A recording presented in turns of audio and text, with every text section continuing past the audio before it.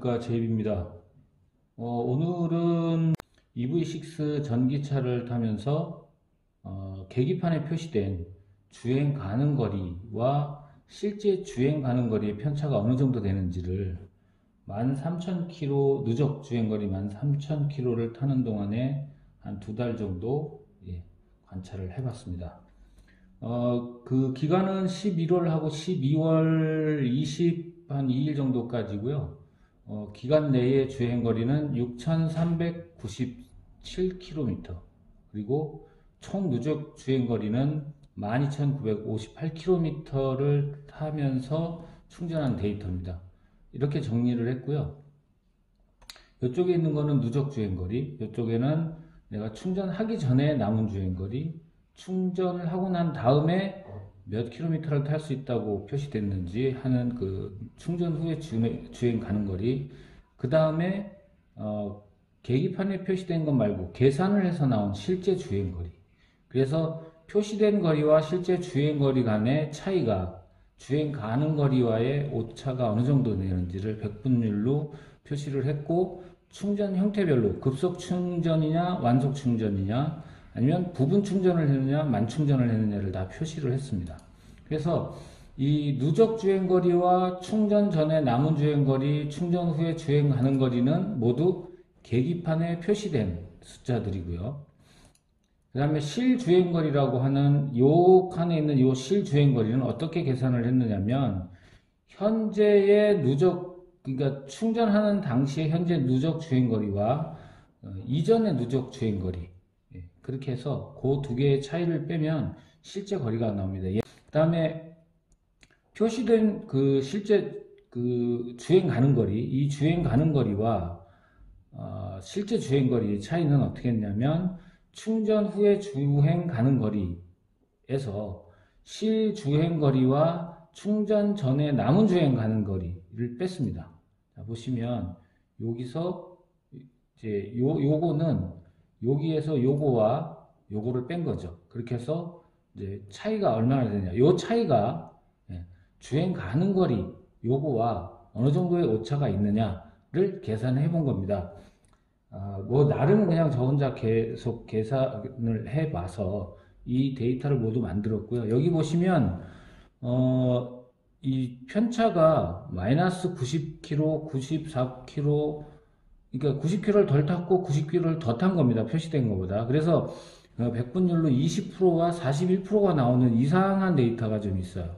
이 데이터는 사실 통계학을 하려면, 통계적으로 하려면 빼는 게 맞을 수도 있지만 뭐 데이터 양이 많지 않기 때문에 그냥 넣었고 여기서 주의 이 날짜는 요 날짜 3일은 제가 당일 그 600km 약 700km 정도를 당일 주행을 했던 그 데이터입니다. 그래서 고속도로 휴게소에서 어, 충전을 거리가 많이 남았던 적게 남았던 충전을 해야 될 때에서 충전을 했던 그런 기록이 있기 때문에 이 데이터도 어쩌면 의미가 있어요. 그래서 이것만 보면 고속도로 휴게소에서 어, 급속 충전기를 사용해서 충전을 할 경우에 그 표시되는 주행 가는 거리와 실제 주행 거리와는 오차가 좀 클 수 있다라는 그런 데이터가 나올 수도 있는 것 같습니다. 그래서 요 그 충전 형태에 따른 평균 값을 제가 한번 쭉 내봤고요. 그거에 따라서 어, 오차가 어떻게 편성된지 보면 평균은 약 8% 정도, 8.5% 정도 되죠. 8.5% 정도의 오차가 있다고 보시면 됩니다. 그래서 플러스 마이너스인데 예를 들면 어, 주행 가는 거리가 500km라고 표시가 되면 500km, 5, 그러니까 5, 25, 25km를 덜 탈 수도 있고 더 탈 수도 있다. 숫자상으로 얘기를 하면 평균은 그렇고요. 충전 형태별로 보면 완속 만 충전의 경우는 6% 정도의 오차가 있습니다. 그리고 완속 부분, 부분 충전의 경우에는 11% 그러니까 완속 부분 충전을 할 경우에만 오차가 경우에는 오차가 제일 큽니다.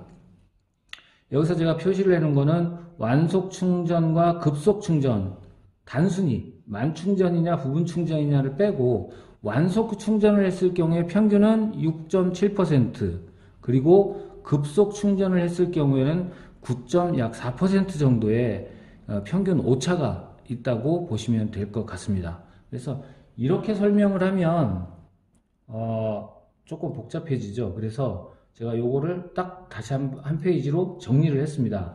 주행 효율이 좋은 충전 방식의 비교. 즉, 왼쪽으로 갈 때 갈수록 오차가 많은 거고요. 오른쪽으로 갈수록 오차가 적은 겁니다. 자, 제일 오차가 많은 11%는 이 앞전에 데이터에서 보신 것처럼 완속 부분 충전을 할 경우입니다. 완속으로 부분 충전을 한다 하는 것은 효율이 제일 떨어지는 거고요. 다음은 9.7% 급속 부분 충전입니다. 자, 부분 충전이 아, 주행 효율이 좀 떨어진다는 얘기죠. 둘 다 부분 충전인 걸 보면 그러면 8.2% 1% 요거는 급속 만충전입니다. 즉 우리가 뭐 50kW, 70kW, 100kW짜리 급속 충전기에서 뭐 20분, 40분 만에 충전을 다 채웠을 때 약 8%의 오차가 발생할 수 있다는 얘기. 데이터로 봤을 때 그렇습니다. 그러면 가장 효율이 좋은 6%는 완속으로 만충전을 하는 경우입니다. 즉, 여기서도 보시는 바처럼 전기 자동차도 집밥이 최고다.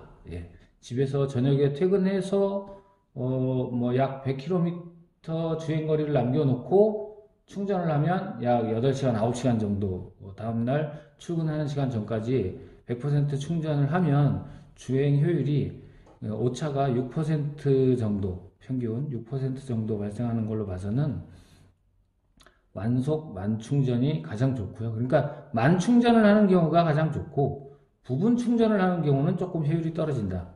이렇게 데이터를 정리를 할 수 있겠습니다. 다만 11월과 12월 즉 겨울철입니다. 겨울철의 주행 데이터이기 때문에 요거는 하절기에 한번 더 해보던지 어, 하절기에 또 체감을 해보셔야 하절기는 좀 달라질 수도 있을 것 같아요. 겨울철에는 그 뭐 열선 시트든지 아니면 뭐 히터든지 뭐 열선 뭐 핸들 뭐 이렇게 해서 그 전열 기구를 사용하는 그런 케이스가 많기 때문에 조금 효율이 떨어진다고 합니다. 또 날씨가 추우면 배터리 효율이 떨어지기 때문에 그런 부분도 좀 영향이 있습니다. 그래서 오전 일찍 추울 때 하고 오후에 조금 따뜻해졌을 때 하고의 주행 가는 거리가 변하는 거를 볼 수도 있습니다. 그래서 어 조금 더 효율적인 충전을 하려고 하면 만 충전을 하는 게 좋겠다. 이게 이번 컨텐츠의 결론입니다. 감사합니다.